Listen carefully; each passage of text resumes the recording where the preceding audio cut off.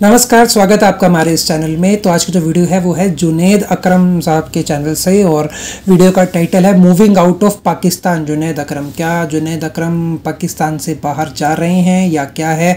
देखते हैं video start कर हाँ। भाई, क्या है? भैया, जैसे कि आपने वीडियो का टाइटल देखा, मूविंग आउट ऑफ़ पाकिस्तान, मैं कहीं नहीं जा रहा। भाई स्टूडियो लगा हुआ है, माशाल्लाह, अभी हमने तीन और लोग हायर किए हैं। तकरीबन तीस का स्टाफ हो गया एजुकेशन चैनल पे ज़ोर से काम जारी, क्योंकि हमें अपने ही बच्चों को पढ़ाना है तो उस पर मेहनत चल रही मैं कहीं नहीं जा रहा। How a lot of Pakistani are moving out of Pakistan and rightfully so जिसका जहाँ रिस्क लिखा है, अल्लाह की मर्ज़ी से ही सब जाते हैं ना। इतना तो ईमान है हमारा। आज ही मेरी बेगम भी दिखा रही थी, भाई कोई इन्फ्लुएंसर है जो जिनकी रील थी जी खैर खैरियत से ऑस्ट्रेलिया पहुँच गई है। गुड फॉर हर अब हो ये रहा है कि बहुत से लोग पाकिस्तान से जा रहे हैं बहुत से लोगों की ख्वाहिश है कि भाई हमें पाकिस्तान में रहना है, क्योंकि उनको शायद पसंद है ग्यारहवीं सदी में रहना but that's their own choice however a lot of Pakistanis are moving out और मुझसे अक्सर बच्चे सवाल पूछते हैं कि जी, बाहर कैसे जाएँ? ये आपका दूसरा सवाल होना चाहिए। पहला सवाल आपका होना चाहिए कि जाना कहाँ है? आपको पता होना चाहिए कि आपके गोल्स क्या है। अब मैंने अपने लिमिटेड तजुर्बे के हिसाब से एक ये थ्योरी बनाई है। मैंने दुनिया को दो हिस्सों में डिवाइड कर दिया है। और ये जरा मैं आपको एक एक करके समझाता हूँ। पहला हिस्सा है short term gains but long term pain और दूसरा हिस्सा है short term pain but long term gains अब मैं आपको पहले एक एक करके समझाता हूँ। पहला हिस्सा जो है शॉर्ट टर्म गेन वाला, वो क्या है जी? आपके अरब ममालिक। पाकिस्तानी पासपोर्ट पे आज भी आपका वीज़ा लग जाता है। लोग वहाँ पहुँच जाते हैं। आप पढ़े लिखे ना भी हो, मजदूर हो, मजदूर की भी नौकरी लग जाती है। व्हाइट कॉलर भी वहाँ जाते हैं ब्लू कॉलर भी वहाँ जाते हैं। नौकरी लग जाती है। लोग अपनी फैमिली मूव कर लेते हैं घर वर ले लेते हैं, वगैरह वगैरह। अच्छा लोगों को इन अरब ममालिक में जाके कोई कल्चर शॉक नहीं होता राइट अगर आप मुल्तान से गए तो गर्मी प्रीटी मच सेम ही होती है। दूसरे इलाकों से गए तो जरा गर्मी ज़्यादा लगती है। हाउएवर आपको खाने पीने की कोई दिक्कत नहीं है। हर जगह हलाल मिलता है। अजान की आवाज़ आती है। कल्चर को इतना डिफरेंट नहीं है। लगता है कि आप पाकिस्तान में कोई आठ हज़ार साल बाद आ गए हैं तरक्की वरक्की दिख रही होगी आपको राइट तो ये शॉर्ट टर्म इसका गेन है। हाँ अगर घर में खुदा ना खास कोई इमरजेंसी हो गई डेढ़ दो घंटे की फ़्लाइट ली वापस पाकिस्तान आ गए कोई बीमारी हो गई कोई एक्सीडेंट हो गया कोई मैयत हो गई तो लोग आराम से वापस आ जाते हैं और रिलेटिवली चीपर प्राइस में। खैर अब तो क्या ही चीप है डॉलर कहाँ से कहाँ पहुँच गया अब तो दुबई जाना भी एक लग्जरी में आ गया। हाउएवर आपकी रीच में ठीक है ये हो गया short term gain but long term pain क्या है? जिस तरह मौत का एक दिन मुतयन है, इसी तरह जीसीसी से वापस आने का भी एक दिन मुतयन है। एक ना एक दिन आपने वापस आना है, चाहे आप वहाँ चालीस साल लगाए, पैंतालीस साल लगाए, पचास साल लगाए, आपने एक दिन वापस आना ही है। मैं सिर्फ़ वहाँ पाँच साल रहा हूँ तो जो यहाँ से लर्न करके गया और वहाँ जाके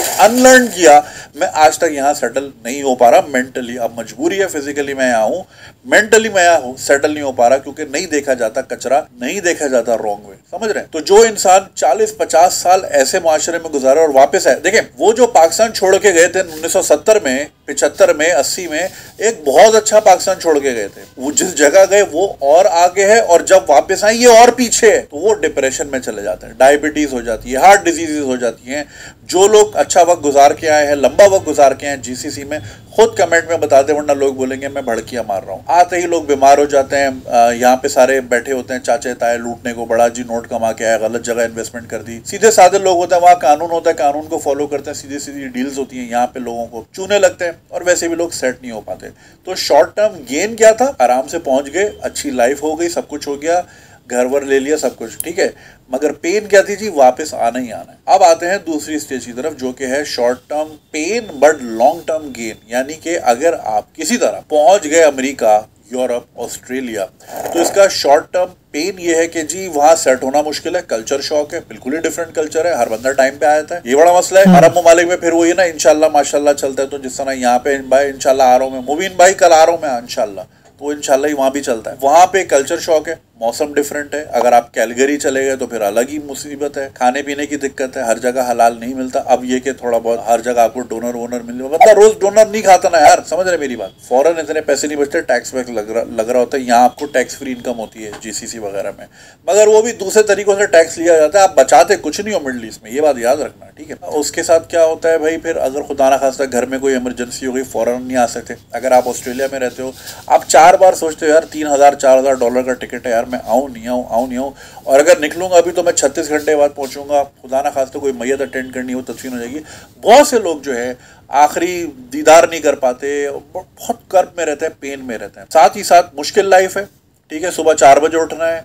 अगर एज अ स्टूडेंट गए, सुबह उठ के अखबार भी डालना है, सख्त मौसम में काम करना है। मतलब जो मेहनत है यहाँ कभी यहाँ तो उठ के पानी कभी नहीं पिया, और वहाँ जाके आपको क्या कुछ नहीं करना होता, बाथरूम भी साफ़ कर रहे होते हैं। वहाँ जाके बोलते हैं अच्छा यार, हार्पिक भी कोई चीज़ होती है, इसको इस तरह डालते हैं। अच्छा कंफर्टर भी कोई चीज़ होती है, यानी एरियल के साथ ये भी डलेगा, ऐसे कपड़े धुलेंगे। नई नई चीज़ें डिस्कवरीज हो रही होती हैं राइट तो वो शॉर्ट टर्म पेन ज़रूर होता है, आपको सेटल होने में टाइम लगता है, घर से बहुत दूर होता है, ईद त्यौहार का कुछ पता नहीं होता, बकरा ईद पे भी आप यहाँ तो बकरा ईद में आप निकले तो माहौल ही अलग होता है, वहाँ तो कुछ पता नहीं चलता। रोज़े में ड्यूटी भी पूरी हो रही है यहाँ तो आपको फिर एक बजे बैंक बंद, दो बजे बंद, घर चले गए वापस, समझ रहे तो वो वाले आपको ब्रेक्स भी नहीं मिलते। मुश्किल लाइफ होती है। लेकिन लॉन्ग टर्म गेन उसका क्या है? आपको पासपोर्ट मिल जाता है। अगर आपकी चॉइस है कि जी मैंने वहीं रहना है, फिर आप जो है दूसरी चीज़ें, आपकी बच्चों की स्कूलिंग वगैरह हो जाती है कवर हो जाती है। मैं अमेरिका की बात नहीं कर रहा, मैं दूसरे ममालिक की बात कर रहा हूँ, जहाँ पे ये वाली पॉलिसीज़ है। एनएचएस आपको मिल जाता है, आपको मेडिकल मिल जाता है, आपके बच्चे फ्री में पढ़ लेते हैं। ये वाले आपको होते हैं। और ख़ास तौर पे मैं बच्चों को यही कहूँगा लैंड ऑफ़ अपॉर्चुनिटी बिल्कुल अमेरिका है। अगर आप उन्नीस, बीस साल की उम्र में, इक्कीस साल की उम्र में किसी तरह अगेन हर कोई नहीं जा सकता भाई, बाप के अकाउंट में बहुत पैसे दिखाओ तो ही आपको वीजे मिलते हैं वो वाले। तो अगर आप वहाँ पहुँच गए और आपने 10 साल लगा दिए, वो ऐसी जगह है, देखिए इमरान खान खुद क्या बोलते थे कि बाहर मुल्कों में सिस्टम ऐसा है कि जो टैलेंटेड आदमी है सिस्टम उसको ऊपर लेकर आता है। यहाँ आप जितना टैलेंट लगा लो यहाँ यहाँ पे आपको ओवरकम करने के लिए कोई ना कोई रिटायर्ड बंदा बैठा हुआ है, या फिर कोई ना कोई किसी का बांझा किसी का भतीजा सीट उसकी है, आपके, आपका कुछ नहीं। तो सिस्टम यहाँ पे ऐसा डिजाइंड है कि आप दीवार से ही लगे रहोगे और एक पर्टिकुलर क्लास है वही यहाँ पे फलती फूलती रहेगी। हावेवर आप अमेरिका जैसे माशरे में जाते हो या यूरोप में किसी जगह रहते हो, ऑस्ट्रेलिया में जाते हो, वो माशरे जैसे कि अगर आप मेहनती हो और आप टैलेंटेड हो, आप खुद ही ऊपर आते हो। और अनगिनत मिसालें हैं, खुद लड़के कमेंट्स में बताएँगे खातन कमेंट्स में बताएँगी, जो जिन्होंने आके बड़ी हार्डशिप्स की, बड़ा मुश्किल से गुजारे, लेकिन वो शुरू के दस साल देने होते हैं, उसके बाद सुकून ही सुकून है। फिर आपके पास एक अच्छा डॉक्यूमेंट है, आपकी इज़्ज़त है कल को खुदा ना खास्ता आपको यहाँ किसी ने कुछ कर दिया तो वही पूरी स्टेट डिपार्टमेंट उठ के आ जाएगा आपको बचाने के लिए। या तो आप अपने मुल्क में कोई मुँह नहीं लगाएगा ना आपको। वो आप ओवरसीज भी हो गए आपको ईमेल आ जाएगी कि भाई यहाँ पे सिविल वॉर का खतरा है। फॉर एग्ज़ाम्पल अगर आप अफ्रीका में जा रहे हो, आपको ईमेल गवर्नमेंट पूछती है आपसे कि भाई आप यहाँ आए हो, खैरियत से हो, यहाँ पे ये मसले हैं। ये एम्बेसी का नंबर है, कोई मसला हुआ है। मतलब समझ रहे ना आप, कोई आपकी केयर करने वाला हो यहाँ तो आप ऑन योर ओन हो। यहाँ पे आप चीज़ें बाय करते हो सिक्योरिटी बाय करते हो हेल्थ केयर बाय करते हो। खैर पाकिस्तान का मैं मुआवजा नहीं कर रहा। सो so, पॉइंट मेरा ये था अब चूज़ आपने करना है कि देखिए सफरिंग तो इनएविटेबल है। ये बात तो मार्कस और ने भी कही है और स्टोइक्स ने भी कही है कि भाई सफरिंग तो ज़िंदगी में है ही है। अब वो आपने पहले लेनी है या बाद में लेनी है ये आपने चूज़ करना है। You don't get to choose के पॉइजन लेना या नहीं लेना। पॉइजन लेना है। लेना कब है ये आपने चूज़ करना है। तो घर से दूर तो रहना पड़ेगा। अब वो आपने पेन अभी लेना है बाद में लेना है। जीसीसी ममालिक का फिर ये है कि आए दिन अब देखें वो मोनार्की है ना। वहाँ पे डेमोक्रेसी तो है नहीं आए दिन रूल चेंज चले जी अब फैमिली टैक्स है अब एक फ़ी बंदा चार हज़ार रियाल पूरे साल का जैसे सऊदी में पिछले कुछ दो तीन सालों पहले लगा ना हर घर पे बीस हज़ार रियाल की एक एक्स्ट्रा वो आ गई। तो इस किस्म की चीज़ें वहाँ ऐड होती रहती है फिर आप क्वेश्चन नहीं कर सकते उन, उन चीज़ों को। आपको इवेंचुअली महँगा पड़ता है वहाँ रहना। बहुत अच्छा लाइफ है मैंने खुद वहाँ रहा हूँ और मैं दोबारा चाहूँगा वहाँ रहूँ लेकिन जहन में नशी ये करना है कि भाई ये परमानेंट नहीं है ये टेम्परेरी है। ये शॉर्ट टर्म गेम ज़रूर है ये लॉन्ग टर्म गेम नहीं है। तो आपने जो है ना पहले ये चूज़ करना है कि पॉइजन कौन सा चाहिए। जाना कैसे वो बात की चीज़ है। पहले आप ये चूज़ करें। तो ये मैंने एक छोटी सी खुद ही मेरे जहन में एक चीज़ आई थी। मैंने सोचा आप लोग के साथ शेयर करूँ, क्योंकि बहुत सारे बच्चे हैं, उनको कोई गाइड करने वाला नहीं है। बेचारे खुद ही उठ के चले जाते हैं कहीं ना कहीं, फिर उनको लोग बेवकूफ़ भी बनाते हैं। एजेंट लग जाते हैं, वो पैसा खाते हैं, फिर कोई वादे करते हैं, आ जाओ मैं नौकरी लगा दूँगा। या कोई कहता है अच्छा यार नहीं हो तो हालात खराब है। खुद वहाँ चालीस साल से रह रहा होगा, बोलेगा, नहीं नहीं, हालात बहुत खराब है। डिस्करेज करने वाले बहुत हैं, रास्ता दिखाने वाले लोग का तो मेरी ये बस ये छोटी सी, अदना सी कोशिश थी कि मैं आपको एक परस्पेक्टिव दिखा दूँ कि गेन्स और पेन्स दोनों जगह हैं। कब ले, देखे, बुढ़ापे का पेन नहीं बर्दाश्त होता। जवानी में आप गिर जाओ, चोट वोट लग जाए, कोई मसला नहीं, आपकी बॉडी फ़ौरन रिकवर करती है। पचास में गिरोगे ना तो घुटना लेके ही फिर कबर में जाता है इंसान। तो पेन ज़िंदगी में जो भी लेनी चाहे वो दिल का पेन हो, जिसम का पेन हो, जितनी जल्दी ले सकते हो, ले लो। बाद वाले पेन ना, वो आपके साथ परमानेंट हो जाते हैं। फिर वो आप सस्टेन नहीं कर पाते। बॉडी है ना, इंसान है। फिर माइंड भी जो है ना, आपका ज़रा आपको वीक हो जाता है आपका। तो अल्लाह खैर करे, आप सबके लिए बहुत सारी दुआएँ। जहाँ जाए, खुश रहे, अल्लाह आपको अपने हिफ्ज़ अमान में रखे, हक, हलाल, रोज़ी की तोफ़ी अदा फरमाए। दुनिया दुनिया पूरी अल्लाह की एक्सप्लोर करें इसको।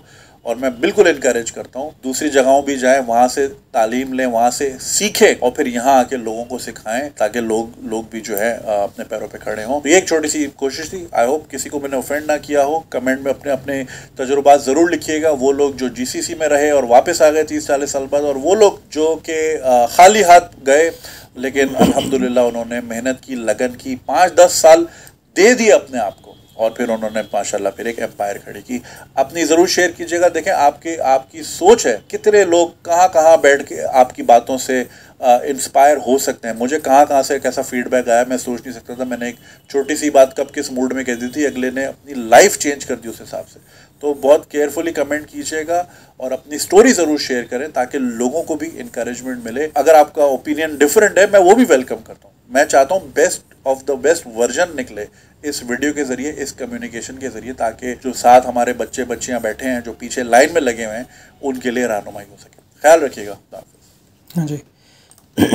तो इस वीडियो में इन्होंने कंपैरिजन किया है जीसीसी कंट्रीज़ और वेस्टर्न कंट्रीज़ का कि आ, क्या है। और वाकई में ये फैक्ट है अगर आप जीसीसी कंट्रीज़ में जाते हो दुबई अबू धाबी या सऊदिया में या इधर कहीं भी कुवैत कतर इन सब में कहीं भी जाते हो तो वहाँ पर आप भले ही बीस साल तीस साल चालीस साल अपनी ज़िंदगी के साठ साल लगा दो तब भी वहाँ पर आपको नागरिकता नहीं मिलती। और ये सब ना आ, मतलब आप लगे रहो लग लगे रहो आपको कभी भी वहाँ पर सिटीज़न नहीं माना जाएगा। आपको वहाँ पर बाहर का ही कहे कि तुम तो बाहर से आए हो तुम तो यहाँ के लोकल हो ही नहीं। एक दिन तुमने बाहर ही जाना। तो एक टाइम बाद आपको अपनी कंट्री में आप अगर इंडिया के तो इंडिया पाकिस्तान के हो तो पाकिस्तान में आपको जाना ही पड़ेगा। और ये एक कॉन्सेप्ट है कि हम कहते हैं टैक्स फ्री है टैक्स फ्री है। ये ऐसा कुछ नहीं है। टैक्स फ्री है नो डाउट कि आपकी सैलरी पर टैक्स नहीं लगता। बट उनके फ़ाइन इतने ज़्यादा तकड़े हैं ना कि आपसे वो पैसा ले लेते हैं। उनका ट्रांसपोर्टेशन महँगा है फ़ाइन का सिस्टम महँगा है तो आपसे अगर आप गंदी, दुबई में अगर आप गंदी गाड़ी लेकर रोड पे चले जाते हो तो आपके अकाउंट से दो टू हंड्रेड दिरम कट जाते हैं। अगर आप रोड पर थूकते हो या कुछ भी ऐसा काम करते हो तो आपके ऊपर फ़ाइन लगता तो बहुत ज़्यादा सख्त कानून है, जिससे वो वहाँ पर टैक्स लगाता टैक्स से, कानून से जो पेनल्टी होती है, उससे वो अपना गुजारा करते हैं या आपसे वो टैक्स के एवज में वो उस पेनल्टी ही लेते हैं। और अगर दूसरा कंपैरिजन किया जाए, ये वेस्टर्न कंट्रीज़ हो गए लाइक अमेरिका, कनाडा ऑस्ट्रेलिया हो गया या यूरोप को कोई कोई कंट्री हो गई, अगर आप वहाँ पर जाते हो और आप मेहनत करते हो, अभी क्या होता है, हमारे माइंडसेट में क्या है कि हम कोई छोटा काम नहीं कर सकते। हमारे में होता है कि दूसरा क्या बोलेगा? उसको अगर पता लग गया कि मैं ये कर रहा हूँ तो वो क्या सोचेगा मेरे बारे में, ये है, वो है। ये बाहरली कंट्री में जाके आपका माइंडसेट चेंज हो जाता है। अगर आप वहाँ देख रहे हो कि आपका यूनिवर्सिटी में आपका जो टीचर है, जो आपको पढ़ा रहा है, अब वही टीचर आपको पढ़ाने के बाद शाम को जाके किसी कार वॉश में जाके कार साफ़ कर रहा है। तो आप देखते हो वहाँ पर कल्चर कि लोग खाली नहीं बैठते, लोग काम करते हैं और कोई भी छोटा काम नहीं होता, सब काम काम होता है। कोई बॉक्स पैक का कर रहा है, कोई टॉयलेट साफ़ कर रहा है, कोई कुछ कर रहा है, कोई कुछ कर रहा है। तो दुनिया काम कर रही है, खाली बैठने से ही है कि अपना काम करो। और वहाँ पर काम करती है और वहाँ का कल्चर भी यही है कि आप काम करो, आपको पैसे मिलते हैं, आप काम करो, आप एफर्ट करो। खाली कोई नहीं होता। तो ये तो हमारा ही थोड़ा माइंडसेट ऐसा है कि हम जो लोग हैं कि हम छोटा काम नहीं करेंगे, हम रेडी नहीं लगाएँगे, हम ये ये नहीं करेंगे, वो वो नहीं करेंगे। मतलब यहाँ पर पाकिस्तान में फिर भी की यह बात है कि कोई भी बंदा कुछ काम नहीं होता तो चलो फलों की रेडी लगा लो, ये कर लो, वो कर लो, पर यहाँ इंडिया में थोड़ा सा थोड़ा सा ये कम है कि हम छोटा काम वो करते हैं कि यार कुछ रेडी लगाना, ये सब करना या टॉयलेट साफ़ करना, ये करना, वो करना, ये सब थोड़ा सा लगता है कि यार लोग क्या बोलेंगे, ये है, वो है। तभी जो यहाँ के जो यूथ है ना, वो मेजरली क्या है, वो आईटी की तरफ़ जा रही है टेक्नोलॉजी की तरफ़ जा रही है कि हम अपने आप के अंदर इतना ज़्यादा वो ले आए इतना ज़्यादा स्किल अपना मज़बूत कर लें कि इन फ्यूचर हमें उसकी ज़्यादा ज़रूरत पड़े और हमारी वैल्यू बढ़े उस स्किल से। तो हम अपना स्किल करते हैं इन्हांस करते हैं बट बाहरी कंट्री में आपको स्किल के साथ साथ एक्स्ट्रा इनकम अगर आपने करनी है तो ये सब काम भी करना होता है।